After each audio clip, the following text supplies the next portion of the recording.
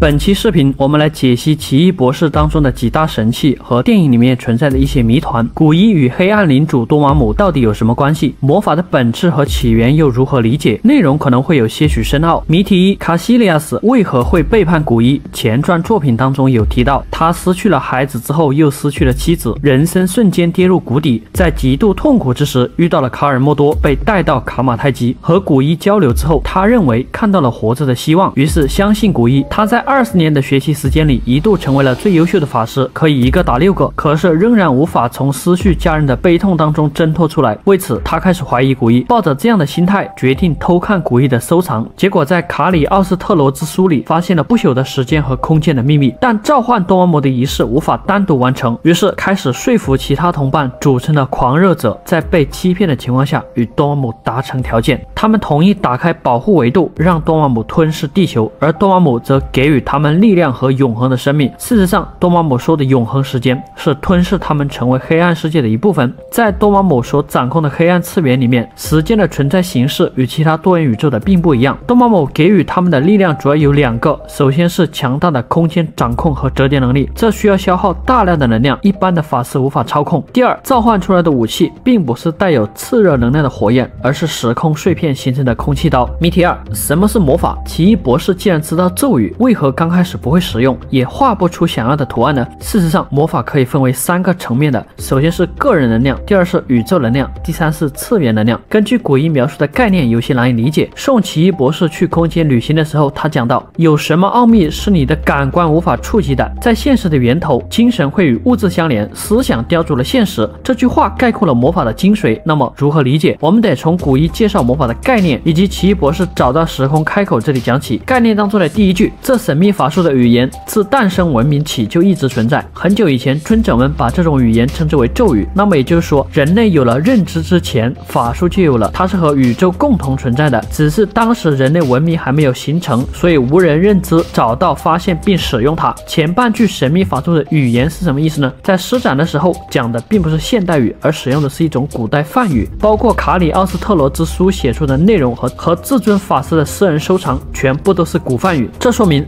上古时期有那么一位高人发现了法术的秘密，而且用语言编撰出来流传后世。此人可能是法师鼻祖阿格摩托。概念的第二句，古一觉得作为一个现代人，奇异博士可能无法接受咒语一词，他使用了更形象的现代语言来表达。你可以把咒语理解为程序，是搭建现实世界的源代码。结合之前讲过的一句话，思想雕琢现实。我个人的理解是，每句咒语相当于一串代码，通过你自身的想法把它们结合在一起之后，描述成你想要的样子，就展现出来了现实。比如说，你想要打开时空之门，你想要塑造一个盾牌，你想要塑造一个扇子，你想要刻画一个铁链。第三，奇异博士为何刚开始不会？就算知道咒语，也搭建不出程序。古一还有一句：我们收集能量，从多元宇宙的其他空间里面获取，念出咒语，铸造出盾牌。关键在于奇异博士刚开始不会收集能量，相当于他手上有一支笔，但是笔芯里面没有水，所以他刻画不出想要的图案。我个人认为，在电影的世界观当中，能量一直存在在于我们周边，它就是现实世界的源头。像古一说的一样，精神与物质相连。为了激发奇异博士的潜力，让他看到现实世界的源头，故意把他逼入绝境，带进冰天雪地的珠穆朗玛，希望他能够在生死之间感受到能量的存在，而用意念收集宇宙能量，把笔芯里面的墨水装满，刻画出想要的图案，打开时空隧道。魔法当中的个人能量运用非常有限，它源自于人的生命力，使用的层面也比较稀少。比如说，可以用来催眠、心灵感应，还有灵魂出窍。使用过多的个人能量，还会消耗个体的生命力。比如在片尾，奇异博士跟古一说：“你的灵魂赶紧回去，不然你会领盒饭的。”宇宙能量的运用则相当广泛，一般的法师都能学到这些技能。比如说，转换成各种各样的武器，进行时空穿梭等等。更高一级的能量叫做次元能量，可能需要从宇宙的一个或者多个超维度实体获取。比如说多玛姆的力量，把它掌控了，你就可以掌控时间和空间。多玛姆给予了卡西利亚斯折叠空间的能力。三镜像空间是什么？举一个现的例子，把一张图片反转一百八十度的效果再呈现出来，会与原图片实现空间对称。反转的图像我们称之为图片的镜像，所以镜像空间你可以理解为像真实世界的影子一般存在的空间平行维度。法师可以刻画出某一房间的镜像，也可以刻画出某一栋建筑的镜像，还可以刻画出某一座城市甚至地球的镜像。只是刻画的层次越宽广，需要消耗的魔法和难度就越大。在镜像空间里面发生的事不会对原本的现实造成影响，除了人之外，就是说镜像空间间。当中的建筑毁掉了，与现实无关；镜像当中的空间折叠了，也与现实无关。但是镜像当中的你领盒饭了，你就领盒饭了，因为你是现实的，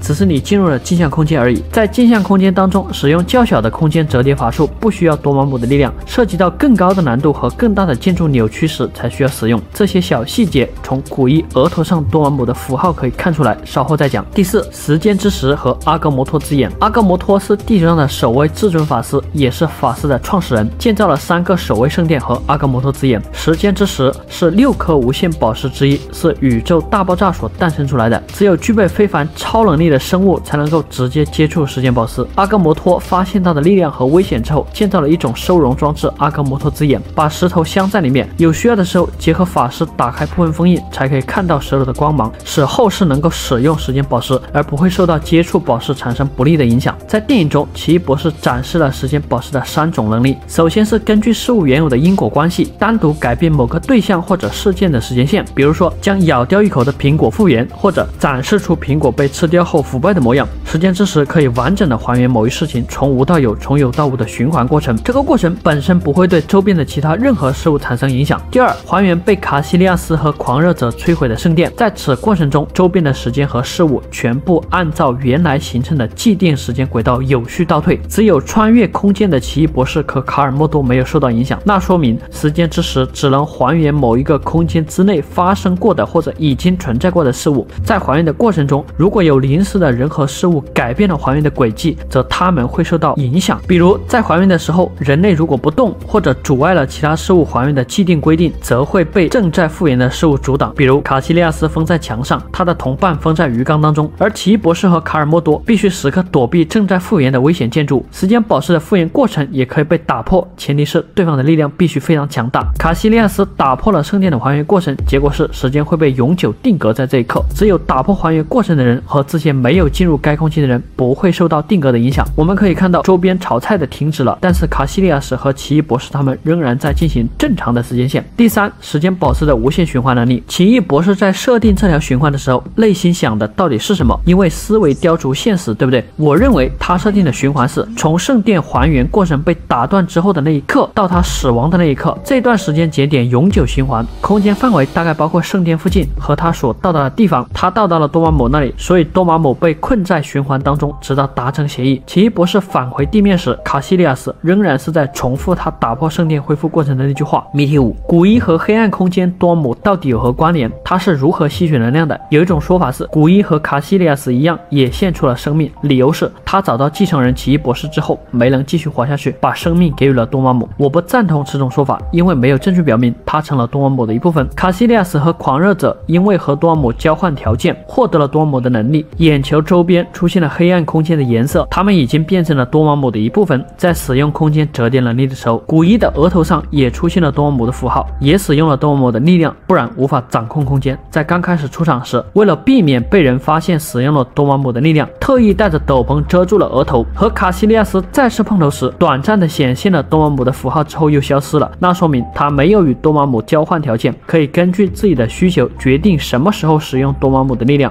我认为古一应该是与奇异博士一样掌控了多玛姆。对于这个异次元空间拥有超自然力量的跨维度实体，怎么可能会无条件的给予人类获得永久的生命呢？古一并没有被他同化，可以自由选择使用，说明他应该是掌控了多玛姆的力量，而不是被多玛姆掌控，或者他有一些额外的方法，能够在不被多玛姆察觉的情况下，悄悄使用黑暗空间的力量，获得永恒的生命。对于以上观点有不同看法的小伙伴，可以留言讨论。